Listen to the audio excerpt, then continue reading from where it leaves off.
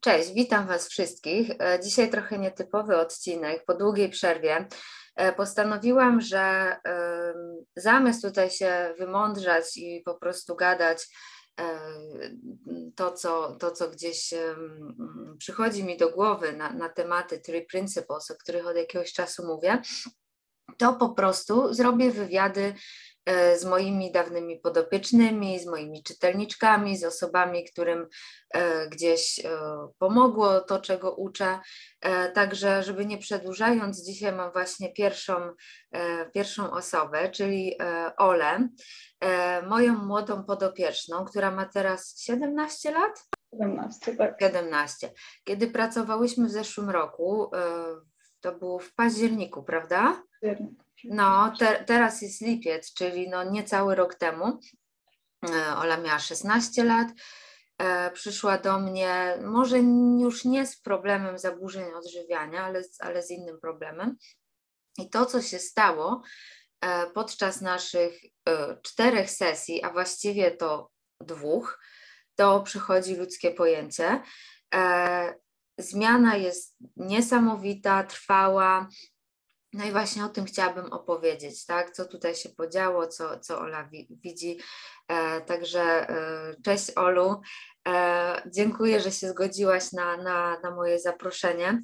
E, no i, i właśnie opowiedz, dlaczego, dlaczego rozmawiamy? E, e, zgłosiłam się właśnie do Ciebie na przełomie października, listopada, mm, dlatego że pamiętam jak jeszcze rok temu, właśnie w lipcu, pomogłaś mi wyjść z bulimi tylko i wyłącznie przez czytanie jakby Twojego bloga i wpisów.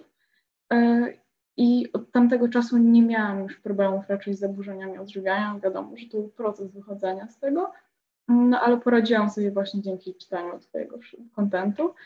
E, I zgłosiłam się z taką nadzieją, że też mi pomożesz z moim problemem, jakim jest bardzo, bardzo duża nieśmiałość i właśnie nawet nazwała to takim lękiem społecznym, dostawałam ataków paniki właśnie w miejscach publicznych.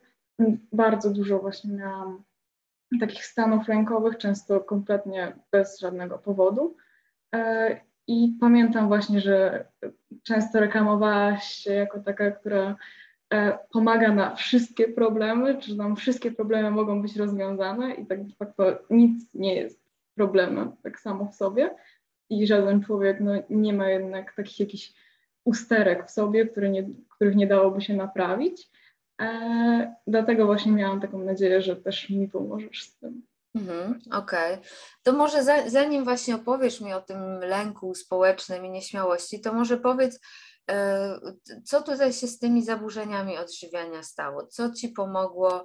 E, jak ty to zrobiłaś? Co ty czytałaś? Tak, bo mam dużo tego kontentu, więc, więc co tutaj się bardzo stało? Bardzo dużo, bardzo dużo.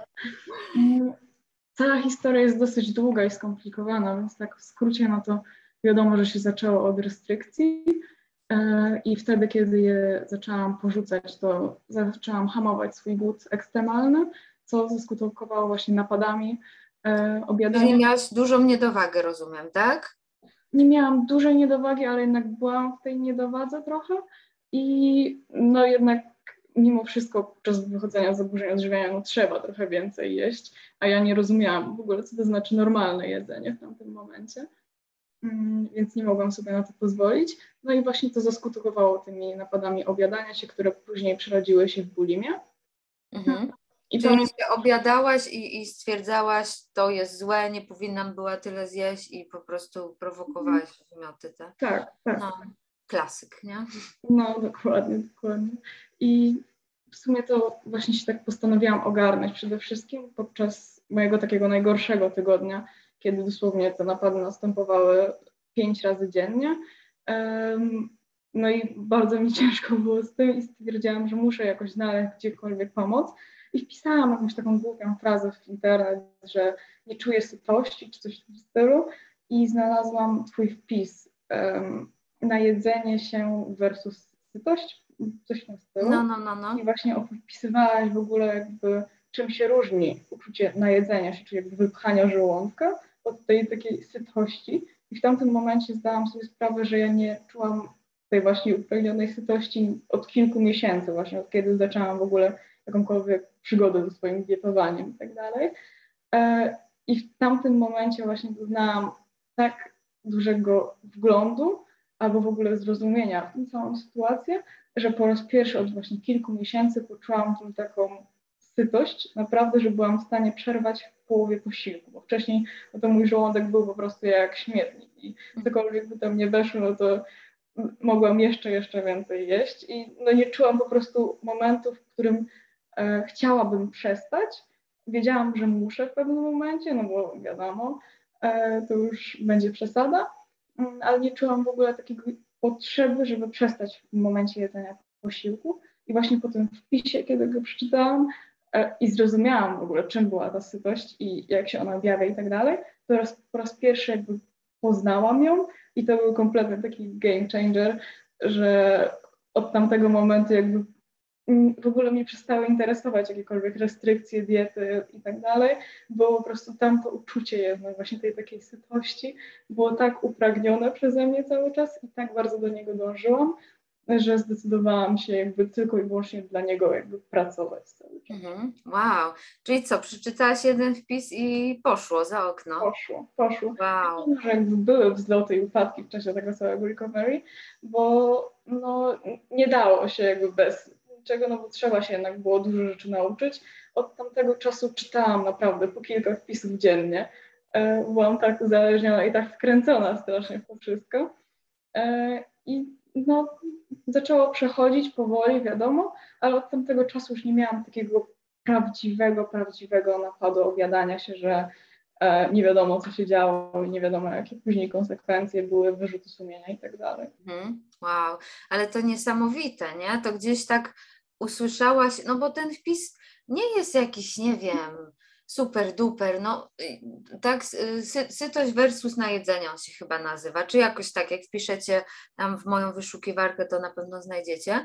No i po prostu opowiadam, tak, że no naj, najeść się można, w sensie wypchać żołądek można, nie wiem, główką sałaty, tak, ale to wcale nie będzie sytością, nie? Sytość wtedy, kiedy właśnie ciało mówi, ok, dzięki, dosyć, najadłam się, nie? Mhm. Więc jakby gdzieś usłyszałaś to głębiej, nie wiem, tak jakąś tak. esencję z tego wyniosłaś, nie? Mhm. Niesamowite, no. Coś więcej usłyszałam i też coś więcej poczułam, bo to nie wystarczy chyba tylko usłyszeć po prostu te słowa, tylko trzeba naprawdę poczuć to, że jednak nie jest się jakkolwiek zepsutym, dlatego że się nie czuje sytości, tylko po prostu siedzą jednak w tej twojej głowie te ciągłe restrykcje, te ciągłe upominanie się, że powinnaś zjeść mniej i tak dalej. E, I właśnie usłyszeć to i poczuć tą sytość właśnie, że naprawdę jesteś wciąż tym samym człowiekiem, co byłaś przed zaburzeniami odżywiania i wciąż masz te same mechanizmy regulacji. Jakby. Wow, wow, no. Ale wiesz co, to, to tak na marginesie właśnie y, Sydney Banks, y, od którego się ta cała filozofia Three Principles bierze, o której zaraz pogadamy, tutaj nawet mam jego y, książkę na, na biurku, e, właśnie też mówił, że jest słuchanie i jest słuchanie, tak, że takie, takie głębsze, tak, że, że no możesz coś usłyszeć, aha, no muszę jeść więcej, tak, czy nie wiem, nie jestem zepsuta, nic nie jest ze mną nie tak, ok, ale możesz to usłyszeć, tak, tak głębiej usłyszeć, nie, także gdzieś ci to mhm. wejdzie do, po prostu do, do, do serca, nie, i to, to jest ta różnica i też często mówi, że właśnie yy, nie, nie, słuchajcie moich słów, tak? On, on tam uczył, gadał, tak? opowiadał o tym swoim e, doświadczeniu no, oświecenia, które miał, o którym też często opowiadałam. Nie słuchajcie moich słów, słuchajcie poza słowa, tak? Słuchajcie do tej esencji. Więc mam wrażenie, że y, znaczy do tej esencji, słuchajcie tej esencji. Mam wrażenie, że y, właśnie coś takiego usłyszałaś, nie? że tą właśnie esencję, którą nawet ja pisząc ten post jakby nie, nie zamierzałam, znaczy no nie wiedziałam, że to będzie miało taki po prostu impact na kogoś, nie? No tam sobie napisałam, tak. wiesz, fajnie, nie? Fajnie, tak? Może jakbyś przeczytała jakiś inny post, to też byś gdzieś, tak. wiesz, usłyszała, nie? Bo generalnie ta idea mojego bloga y, Wilczogłodna jest taka, że nie jesteś zepsuta, nie jesteś psychicznie chora, nic nie jest z tobą nie tak, jesteś zdrowa, jesteś normalna. Nie? To jakby z każdego posta przebija. I mhm. chyba to gdzieś załapałaś, nie? Tak. No. Też wydaje mi się, że piękne jest to, że jakby kierujesz e, tą esencję na nas, w sensie, że ta esencja jest właśnie w nas, to poczucie sytości jest w nas, to ten spokój jest w nas, a nie w jakimkolwiek wpisie, w jakimkolwiek coachu, psychologu, czymkolwiek, jakiejkolwiek sytuacji jakby zewnętrznej, tylko jeżeli chcemy naprawdę mieć, nie wiem, ten wgląd upragniony albo cokolwiek zrozumieć, to musimy to wziąć jednak ze środka, z nas właśnie. Mm-hmm, a nas tego nie zrobi faktycznie. Wow. No faktycznie, faktycznie nigdy nie pomyślałam nawet o tym w ten sposób, nie? Bo, bo wszystkie odpowiedzi są w tobie, w twoim ciele, w twojej psychice, mhm. która jest zdrowa i nienaruszona. Nikt ci tego nie może z zewnątrz dać. Żaden psycholog, żaden terapeuta, żaden coach, ja ci tego nie mogę dać, moje wpisy ci tego nie mogą dać. Po prostu ewentualnie my wszyscy możemy na to wskazywać, gdzie to jest, ale tak. to ty musisz spojrzeć do środka i zobaczyć, o, wszystko mam, tak? No, mhm. poza moimi tak. głupkowatymi myślami, że muszę się ograniczać, nic nie jest ze mną nie tak, nie? Mhm. No, to, to jest Nawet właśnie... Też nie są nie tak w sumie. No. Bo one po prostu są. Jeżeli się właśnie przestanie je widzieć jako taki wielki, największy wróg po prostu twój, tylko po prostu się zaakceptuje, że czasami są takie myśli, a czasami są takie myśli, to naprawdę one odpuszczają po prostu. I się mhm. coś więcej poza nimi. Wow, no. No dobra, opowiedz kochana yy, właśnie o tych o tym drugim problemie, tak? Mówisz, dobra, wyszłam z zaburzeń odżywiania, super, super, ale jestem strasznie nieśmiała, tak? Mam ataki paniki, to może mi tutaj też pomogą, tak? Um, tak właściwie to miałam nadzieję, że właśnie mi pomoże, no bo um, bardzo mi się podobała ta narracja, że właśnie no, nic ze mną nie jest nie tak, ale myślałam, że będę cięższym przypadkiem i że to na pewno się nie rozwiąże podczas jednej sesji, jak się w końcu okazało. Mm, I problem zaczął się mniej więcej, jak właśnie tak zaczęłam e, dorastać, można powiedzieć, bo zaczęłam sobie zdawać sprawę, że mam jakąkolwiek odpowiedzialność i że muszę cokolwiek robić sama. E, I wtedy właśnie się zaczęły pierwsze moje ataki paniki. Chyba pierwszy był właśnie tak mniej więcej piąta, szósta klasa. Mm, I wtedy myślałam, że to jest głównie fizyczny problem, że po prostu mam jakieś problemy z sercem albo z oddechem, nie wiem nawet. Ale później się dowiedziałam, że to są ataki paniki i tak mnie męczyły przez e, no, kilka lat, na pewno kilka mhm. lat. A jak one się objawiały? Mm, przede wszystkim miałam najsilniejsze takie uczucie tej depersonalizacji i takiego poczucia, że nie jestem w sobie i to, że co się dzieje jest jakby kompletnie nierealne. W ogóle to wyłączało, całkowicie mózg mi się wyłączał podczas tych ataków paniki i po prostu nie rejestrowałam najczęściej nic. Działałam na tak wysokiej, na takim wysokim poziomie adrenaliny, że jakby ciężko mi było być faktycznie sobą i być w sobie faktycznie. Mm, ciężko mi nawet powiedzieć takie fizyczne objawy, no bo naprawdę jakby w większości to jest po prostu wszystkie moje sytuacje, które przeżyłam na ataku, na ataku paniki, są najczęściej czarną plamą w mojej pamięci. No a tak typowo pewnie to jakieś kołowanie serca, szybki oddech, pocenie się, drżenie albo strasznie. Y, miałam często właśnie też takie objawy y, uderzeń gorąca strasznego. I to właśnie też było, no, dużo mnie ograniczyło. Bardzo. Mm -hmm, wow. A jak często miałaś takie ataki? W zależności od mojego stanu, ale no bardzo często właśnie w środkach komunikacji, w którym się przemieszczam niemalże codziennie e, i takie większe ataki paniki, no to wiadomo, podczas jakichś bardziej stresujących sytuacji albo w większych, no jak wchodziłam do centrum handlowego, czy coś to kompletnie odpływałam najczęściej. Wow. Ale to co, ci ludzie musieli ratować i zbierać z podłogi? Nie, to kompletnie było nie, niezauważalne jakby właśnie z zewnątrz. Mm, nie podobają mi się czasami właśnie takie sceny w filmach, że wiadomo, że ktoś ma tak paniki, od razu mdleje albo się hiperwentyluje i tak dalej, bo wiadomo, że w niektórych przypadkach może tak być, że faktycznie będzie się to tak objawiać, ale po mnie to kompletnie nie było do zauważenia. Najczęściej mogłam normalnie rozmawiać z kimś, byłam trochę rozkojarzona albo tak dziwnie odpowiadałam, no, coś w tym stylu, no, ale najczęściej ludzie w ogóle tego nie zauważali, bo no, tak czy siak byłam dosyć nieśmiała, więc nie mówiłam za dużo, a w tych atakach paniki no to też jakby nie musiało się e, za dużo objawiać tak fizycznie, na zewnątrz wszystko. Większość wow. się działo w mojej głowie.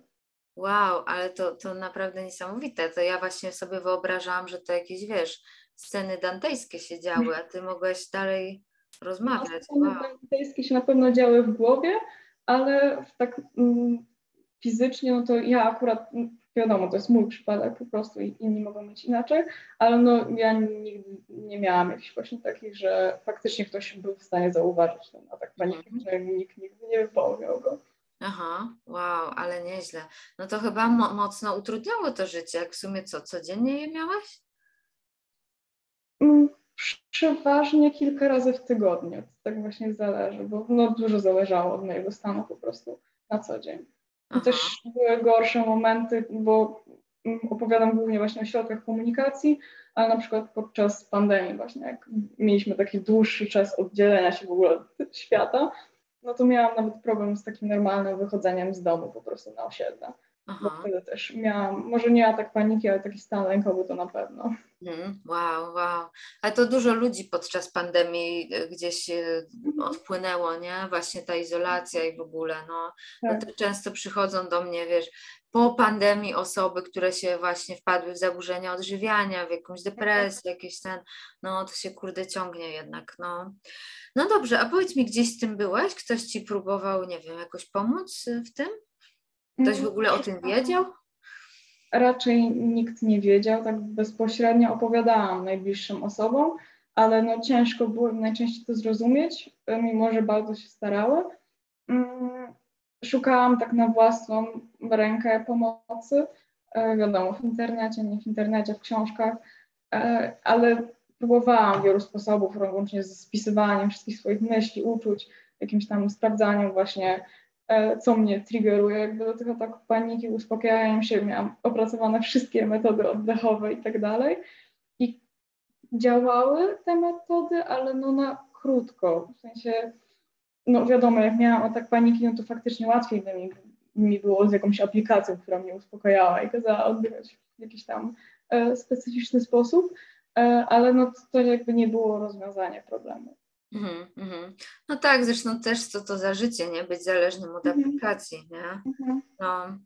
E, wiesz, te wszystkie takie metody, e, wiesz, właśnie nie wiem, odpierania ataków jedzenia czy coś, to wiesz, no, mają taką, taką wadę, że właśnie podziałają na krótko, jeżeli podziałają, tak? Czasami jest tak, że działają, ale potem to wraca, wraca z zdwojoną siłą i już nie masz jakby zasobów na to, żeby wiesz, jeszcze raz się z tego wyciągać i, mhm. i tak dalej, nie? Mhm. No. Dlatego właśnie mówiłam, że dużo zależało od mojego stanu, bo kiedy się czułam dobrze i wszystko się układało, no to wiadomo, że może kilka oddechów spokojnych podziałało, albo mówienie, że nie myśl o tym, nie myśl o tym, nie myśl o tym, może mhm. podziałało, ale póki miałam jeszcze te siły psychiczne, no to faktycznie um, to pomagało, ale kiedy już brakowało mi ich, albo czułam się po prostu gorzej, no to wszystko wracało faktycznie mhm. jeszcze w gorszych formach najczęściej. Wow. Okej. Okay. A jak one się zaczynały, pamiętasz?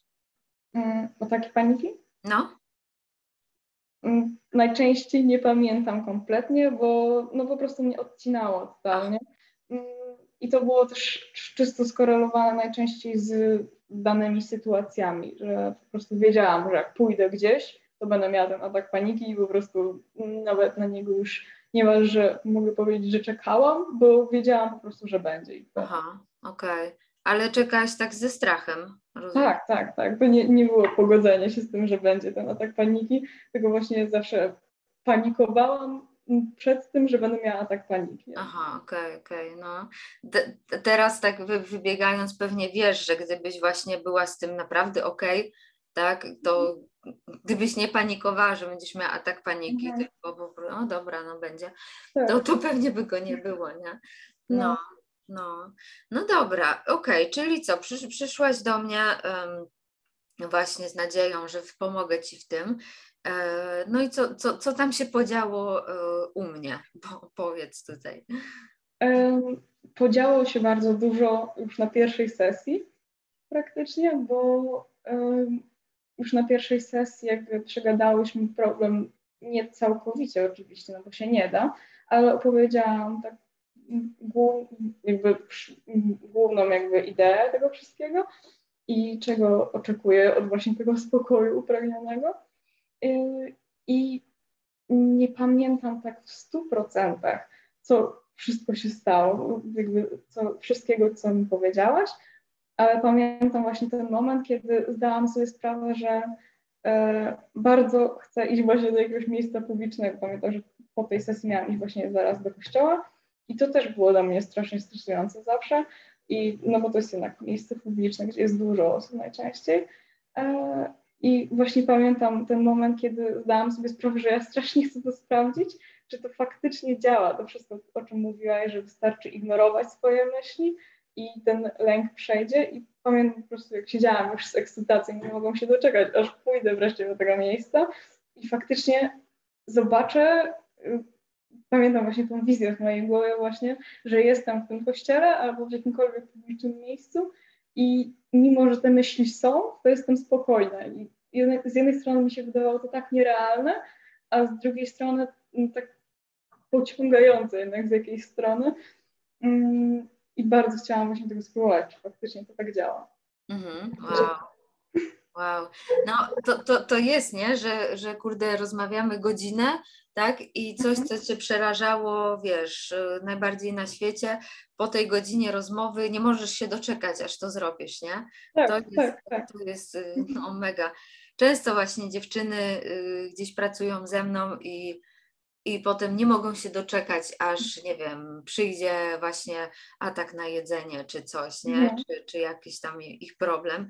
E, I to, to mi jakby daje znać, że y, wiesz, no, no kurczę, jeżeli nie możesz się doczekać na coś, co, co cię przerażało, no to chyba jest po problemie trochę. Zaczyna, zaczęłam to w ogóle rozumieć jakby, że problemem nie jest to, że idę właśnie do tego miejsca publicznego, gdzie jest pełno ludzi, to nie jest problemem ta sytuacja, te okoliczności, tylko problemem są te myśli w mojej głowie jednak cały czas i mm, to, że one mają taką treść, jaką mają, czyli taką lękową typowo.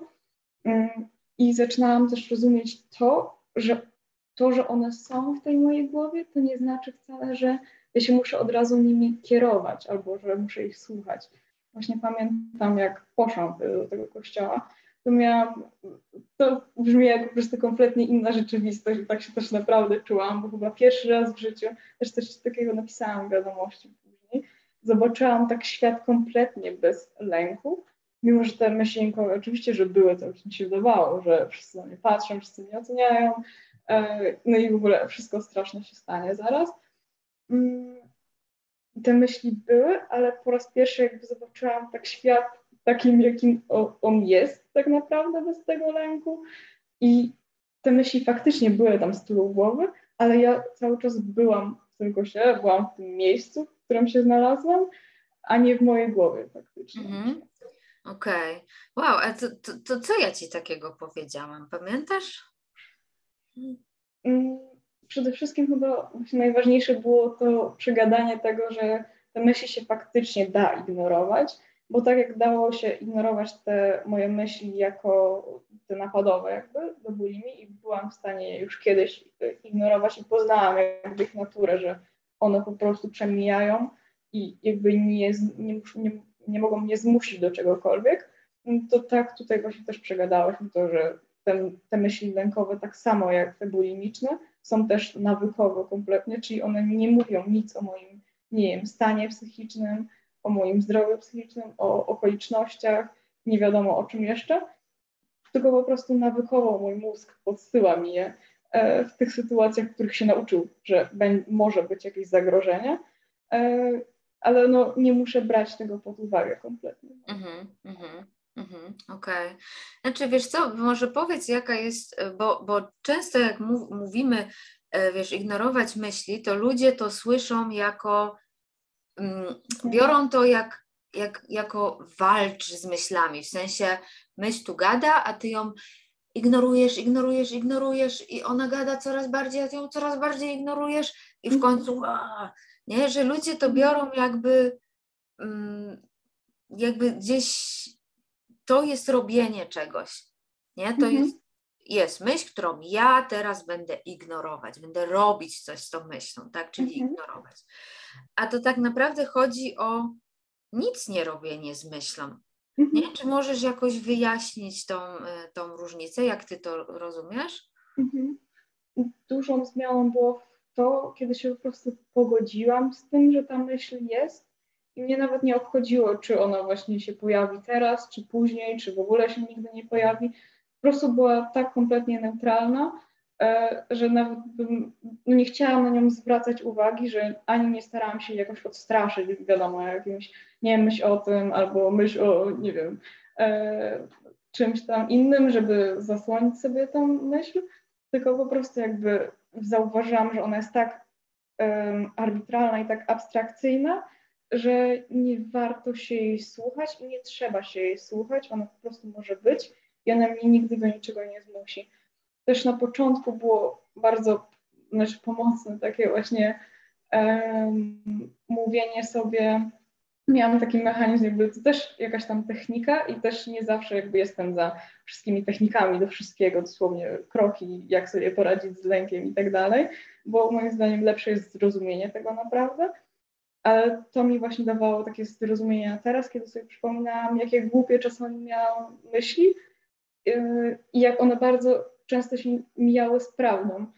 I naprawdę, jakby za każdym razem, jak sobie myślałam, że nie wiem, że wszyscy mnie oceniają i tak dalej, i wiedziałam, że to jest abstrakcyjne, ale wydawało mi się realne, no to przypominałam sobie jakieś inne głupie sytuacje, kiedy mózg mi podsyła jakieś głupie myśli, e, które no, teraz się wydają abstrakcyjne. Jeżeli mógł przytoczyć taki mm, przykład, żeby bardziej to było takie realne, no to pamiętam, jak znalazłam swój y, pamiętnik chyba z trzeciej klasy i tam napisałam, że moją największą życiową porażką to było, że pomyliłam granddad z babcią.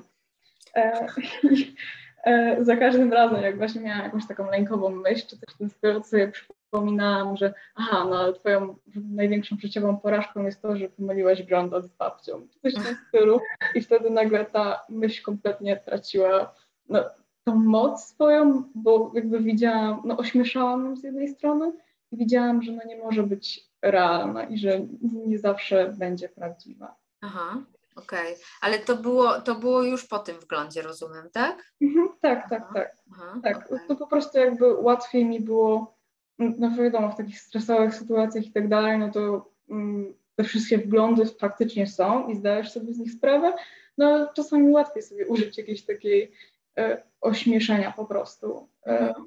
jakiejś mhm. sytuacji. Mhm. No tylko, że to ośmieszenie nie jest wtedy na zasadzie muszę się złapać jakieś ośmieszające, jakiegoś ośmieszającego porównania, bo inaczej utonę, tylko to jest takie właśnie, no okej, okay, to ta myśl jest po prostu śmieszna, nie? To jest takie gdzieś tak, zrelaksowane. No. Proszę Cię na chwilę, bo mama do mnie dzwoni i mówi, że pilne, to za chwilę się włączę. Aha, dobrze. Podczas mhm. nagrywania się spodziewałam. Na czym skończyłyśmy? Okej, okay. no. Mhm. Dobra, wracamy. No. Nie pamiętam, na czym skończyłyśmy.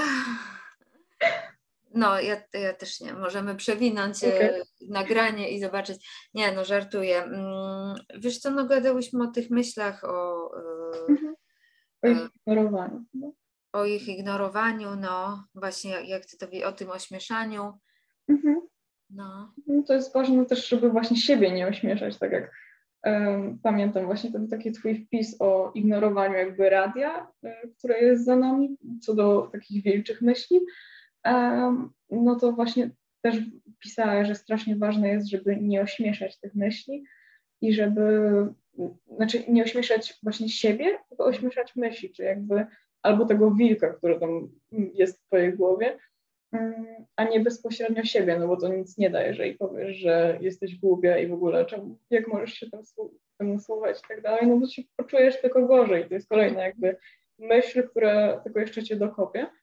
mm, ale właśnie takie ignorowanie, takie no, po, pobłażanie tej myśli, żeby nie dawać jej, nie stawać jej, jej na aż takim piedestale, że ona jest taka straszna, taka okropna i że ta, tak bardzo ma nad nami władzę, no to to jest właśnie najważniejsze, żeby odebrać jej jakąkolwiek władzę nad mhm. swoim stanem. Mhm. Tym, co no, no bo de facto myśl nie ma żadnej wrodzonej władzy nad sobą, mhm. nad nami, nie? No, mhm.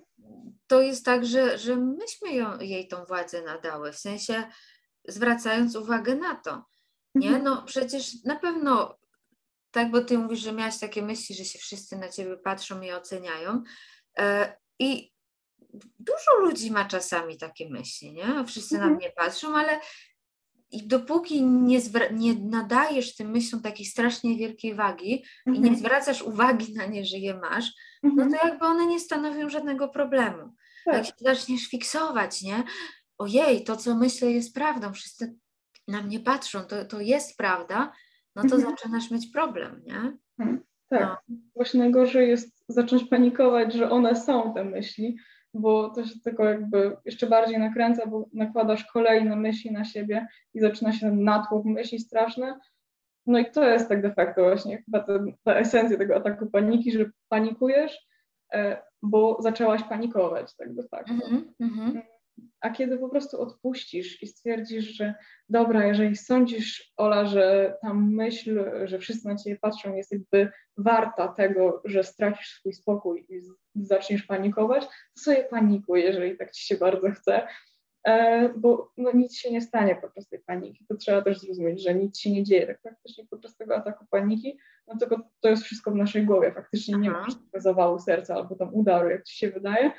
Mm, tylko no po prostu nic się nie dzieje, e, ale no wtedy, kiedy sobie dasz przyzwolenie na to panikowanie i w sumie wiesz, że no nie jest ono tutaj konieczne i w sumie to cię nie obchodzi, jak się będziesz zaraz czuć, czy no i wiesz, że się nic z tobie nie stanie, no to ta panika po prostu nie przychodzi. Ten lęk wow. nie jest już aż tak znaczący. Wow, wow. Ale to jest wielkie, nie? Żeby właśnie dać sobie pozwolenie na to, jak się czujesz, tak? Jak masz mhm. panikować, no to panikuj, nie? I mhm. samo tak. gdzieś to przyzwolenie, tak, to, to już gdzieś zdejmuje ciężar, tak? Nie panikuję, że panikuję, tylko po prostu mhm. no, panikuję jak muszę, nie? No. Tak, tylko właśnie też jest E, zawsze zauważam tą taką narrację w mediach społecznościowych i tak dalej, że pozwól sobie na gorszy dzień i tak dalej, wtedy możesz sobie leżeć w kocyczku i robić tam jakieś przyjemne rzeczy i tak dalej. I nie mówię, że nie, bo faktycznie jakby trzeba sobie pozwalać na gorsze dni, tylko że tu jest różnica taka, że ty wiesz, że to tak de facto um, nie jest wcale ten gorszy dzień, w sensie wiesz, że ten spokój w tobie i ten dobrostan, jeżeli można to tak nazwać, on i tak jest przy tobie, przez chwilę jest po prostu zasłoniony przez jakąś myśl głupią i ona po prostu przejdzie, im szybciej jej dasz spokój. Prostu im mhm. szybciej mm -hmm. przestaniesz na nią zwracać uwagę i to powróci do ciebie, ten dobrostan. Nie musisz dlatego odpalać jakiegoś fajnego filmu albo serialu, albo słuchać muzyki i tak dalej, tylko to samo z siebie się po prostu twój umysł się mhm. sam z siebie jakby oczyści z tej myśli. Mm -hmm. no.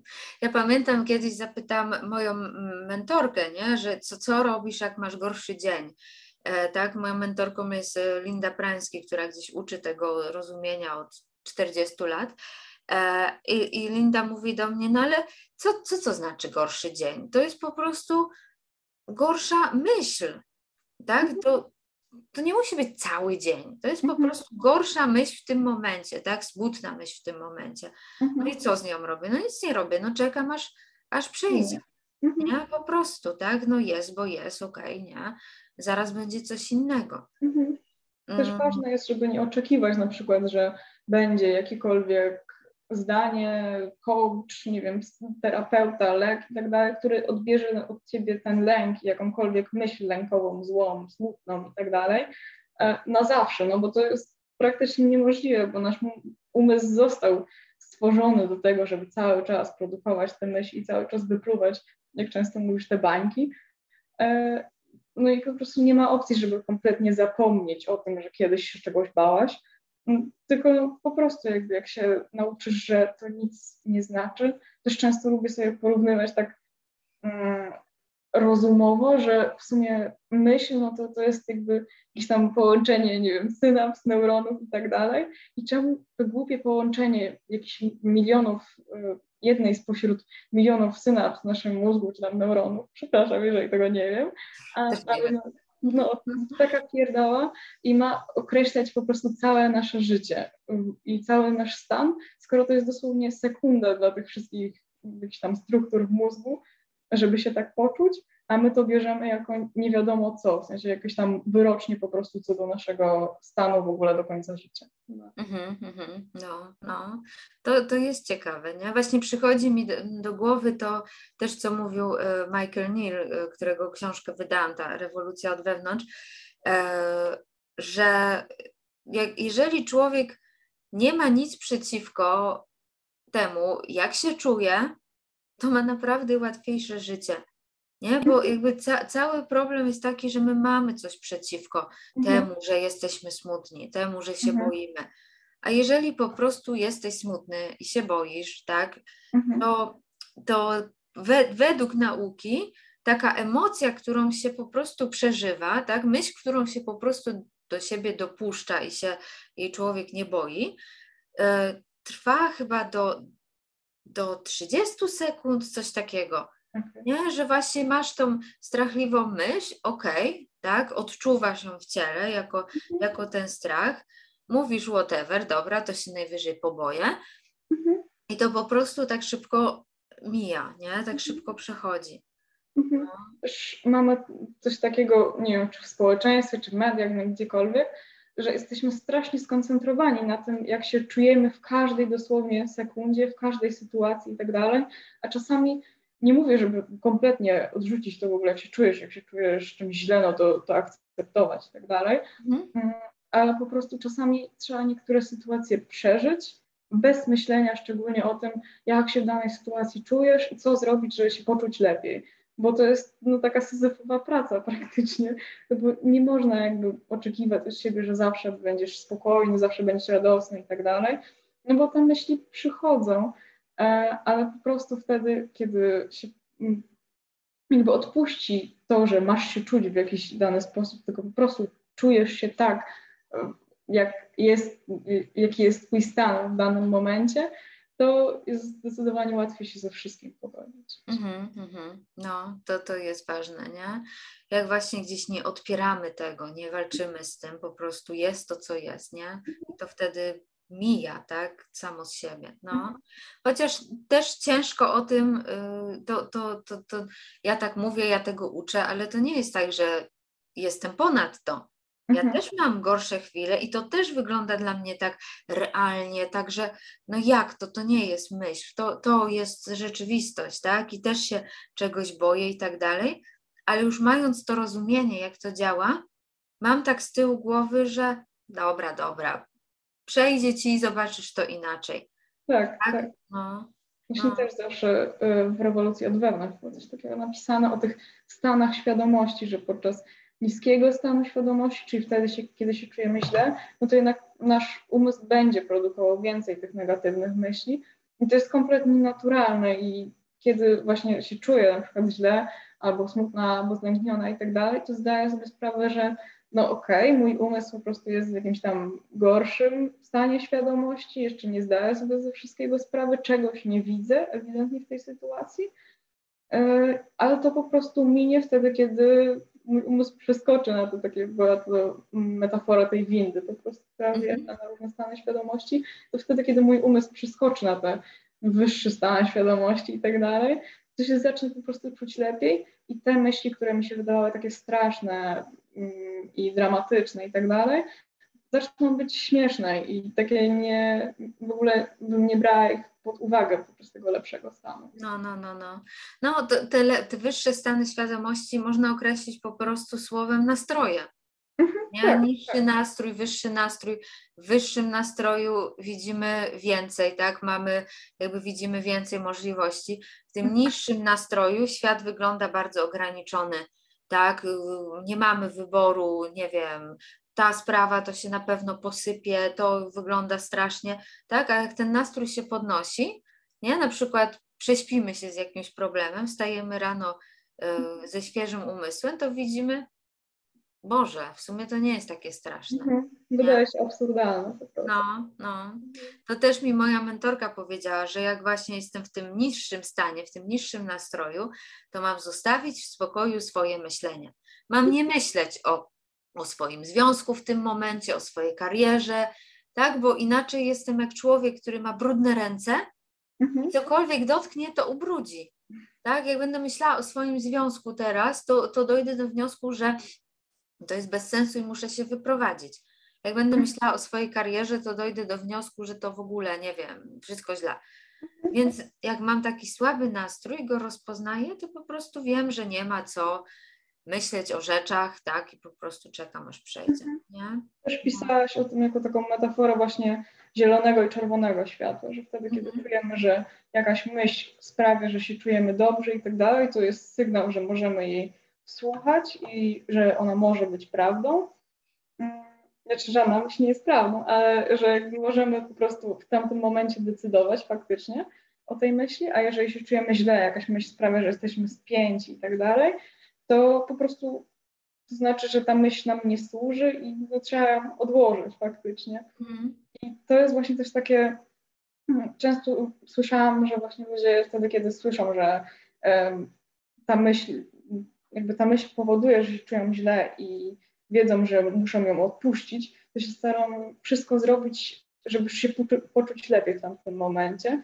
A dla mnie to było takie właśnie wyzwalające, że to jest czerwone światło i że się czuję źle i rozpoznałam jakby, że ta myśl że powoduje, że się czuję źle, że kurde, wreszcie, nie, wreszcie nie muszę jej słuchać i wreszcie mogę sobie odpuścić tą myśl i to, że ta myśl, że wszyscy na mnie patrzą i tak dalej, e, powoduje mój lęk, i się czu, i tym samym jakby, że czuję się źle, to jest znak, że mogę ją wreszcie odpuścić i nie muszę się jej słuchać, bo się czuję przez nią źle. Mm-hmm, mm-hmm. No tak, nie? Samo to, że sprawia, że czujesz się źle, oznacza, to często porównuję, nie? Że jeżeli położymy naszą fizyczną rękę na gorącej kuchence, mm-hmm. no to poczujemy się źle, co jest oznaką nie trzymaj ręki na tej kuchence. Taka mhm. jest rola bólu fizycznego. I mhm. dokładnie taka sama jest rola bólu psychicznego. Tak? Jeżeli jakaś myśl cię boi, to ona ci, ten ból mówi ci tylko tyle, że tam nic więcej nie ma. Tam jak będziesz trzymać tą swoją mentalną rękę na tej myśli, to tylko będzie cię boleć i tyle. Mhm. Masz zabrać tak. tą rękę. No. A my tego tak. nie rozumiejąc, trzymamy tą rękę, bo jeżeli tak boli, to coś tam musi być, tak? To jest ważne. Tak, jakaś trauma z dzieciństwa, cokolwiek, po prostu jakiś głębszy sens po prostu w tym tak. boli. A ulga przychodzi wtedy, kiedy się po prostu zabierze tą rękę mhm. i odpuści. Mhm. No właśnie, nie?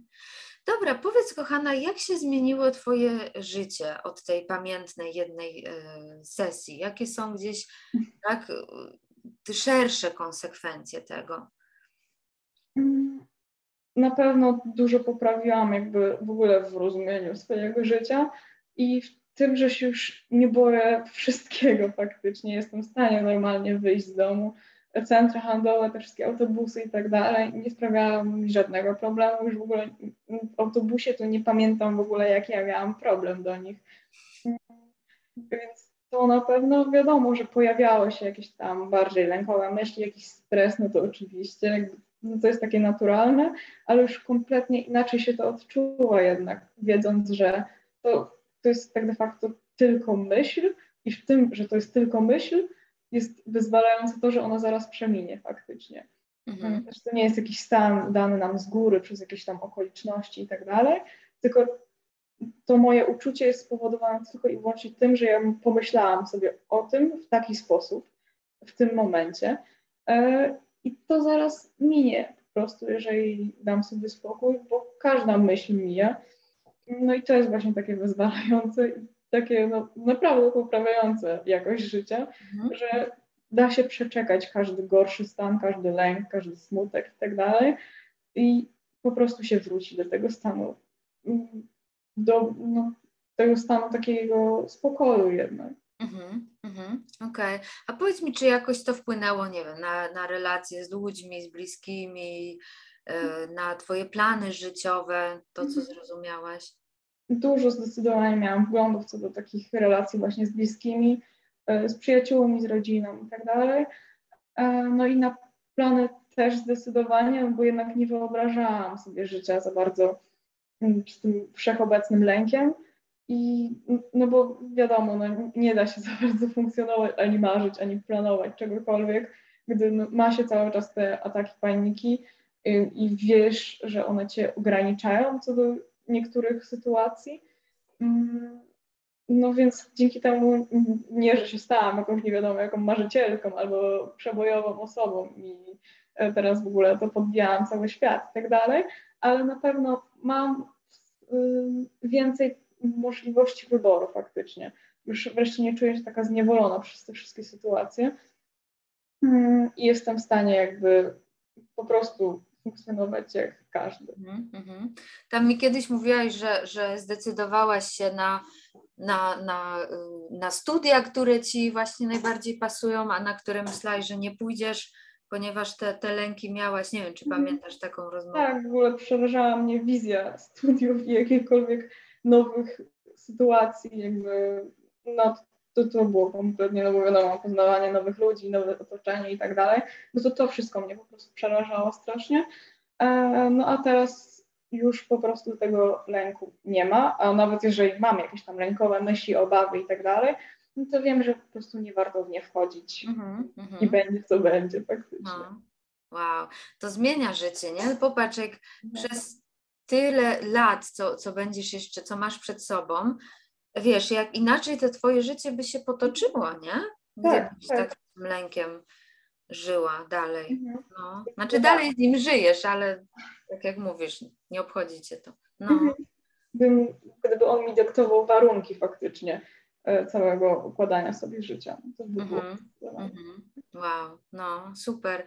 Dobra, tak, tak już prawie będziemy kończyć. Powiedz jeszcze, kochana, yy, bo ja zauważyłam, że każdy, kto się zetknie właśnie z tym rozumieniem, three principles, tak, bo, bo to o tym mówimy, tak, to gdzieś właśnie e, Sydney Banks odkrył, jak pierwszy sformułował gdzieś to, nie, że czujesz swoje myślenie, jak to, jak działa nasz umysł, tak, w takim przebłysku gdzieś e, oświecenia, które miał, jako zwykły robotnik, który nigdy w życiu nie uczył się nic na ten temat, tak, skończył dziewięć klas E, edukacji, znaczy miał edukację taką ze sobą tylko i gdzieś mhm. miał ten, to, to oświecenie, gdzie pisze po prostu i mówi tak, takie rzeczy i to pomaga ludziom. E, I każdy, kto się właśnie zetknął z tym, e, z, z, tym rozumieniem, tak, i gdzieś głęboko, głęboko to zobaczył, tak jak ty, chce się tym dzielić, tak, to widzę, tak, miałam od tego czasu dużo podopiecznych, które też zakumały, zakliknęły i każdy, każdy chce temu, to, to przekazać dalej, tak, bo to jest rewolucyjne. Powiedz mi, co, co ty robisz w tym kierunku? E, ja nie śmiało, bo nie śmiało, ale założyłam Instagrama właśnie o e, generalnie zaburzeniach lękowych. Mm, na razie się nie dzieje tam za dużo, ale może jeszcze kiedyś się jakoś bardziej rozkręcę. Nazywam się Nieustraszeni z podłogą na końcu. Mm, i generalnie no chciałabym, po prostu chciałabym to przekazać, dlatego że aż sama nie mogłam uwierzyć na początku, jakie to proste właśnie jest. E, wszystko, że naprawdę nie trzeba z tym żyć przez całe życie, nie trzeba się z tym męczyć przez całe życie i że rozwiązanie jest tak blisko w sumie, a w Polsce wydaje mi się, że jeszcze no, ruch Three Principles nie jest za bardzo znany. Nie. Mam nadzieję, że niedługo będzie bardziej, bo naprawdę, no właśnie to jest taka rewolucja i od wewnątrz też bym powiedziała, że rewolucja od mhm. wewnątrz. E, no i właśnie chciałam to przekazać po prostu, że to jest zdecydowanie prostsze niż nam wszyscy wmawiają. Mm-hmm, mm-hmm. No, znaczy wmawiają, nie wmawiają, no gdzieś w dobrej, w dobrej wierze, tak. tak? To ja zawsze podkreślam, że jakby po prostu gdzieś, no niestety psychologia, to może jest takie mocne zdanie, ale no psychologia gdzieś błądzi, tak? Uważam, jeszcze no, nie znalazła właśnie tych pryncypów, tych podstawowych zasad nie? które gdzieś znalazł Sydney Banks, które są rewolucyjne. No i też mo moja misja jest taka, tak? Gdzieś tłumaczę te książki, wydaję, mówię o tym, żeby po prostu to y, przybliżyć na, na, na Polskę. Ta y, y, community, y, tak, jak to się mówi, społeczność światowa rośnie, tak? Powstają gdzieś nowe odnogi hiszpańskojęzyczne we Włoszech, Danii, w Czechach właśnie powstało kilka dni temu też zawiązało się ten, ta społeczność moim marzeniem jest zawiązać tą społeczność w Polsce. Dlatego właśnie chcę się tym dzielić i przedstawiać osoby takie jak ty, które, no wiesz, no jesteś młodą osobą, tak, a, a gdzieś jakby biorąc pod uwagę to, że mądrość nie zależy w ogóle od wieku, nie? że można mieć 60 lat i, i, nic nie kumać, a można mieć 16 i po prostu załapać coś tak ważnego, to właśnie chcę, chcę pokazać wszystkim, że no, jest dla każdego szansa. Nikt nie mhm. musi żyć pod, pod butem swoich myśli. Nikt się nie musi ich bać. Tak, możesz mieć myśli i żyć cudowne życie. Tak, możesz mieć myśli, jakie tam ci tylko wpadają i po prostu być wolna od, od reagowania na nie nie? To, to jest tak. Y, ten, no. Mhm. A powiedz mi jeszcze tak na koniec, y, czy twoi bliscy zauważyli zmianę w tobie? Na pewno jest zmiana. Widzą przyjaciele, no, że zdecydowanie inaczej reaguje na wiele sytuacji. No i też jestem po prostu odważniejsza, lepiej się czuję i tak dalej. No i im na tym zależało pewnie. Więc widzą tą zmianę. No wiadomo, tak jak mówiłam, to nie jest jakieś takie spektakularne, że od razu zostałam przewodniczącym szkoły i tak dalej, bo też mi na tym nigdy nie zależało za bardzo. E, ale no jest zmiana i najważniejsze też, że ja widzę tą zmianę mhm. zdecydowanie. No bo no, życie się zmieniło naprawdę. Mhm. 180 stopni, 180 stopni. Tak, super, super. No dobra, czyli co, zapraszamy do Oli na nieustraszeni z podłogą, jak ty to mówisz, tak, na, na końcu.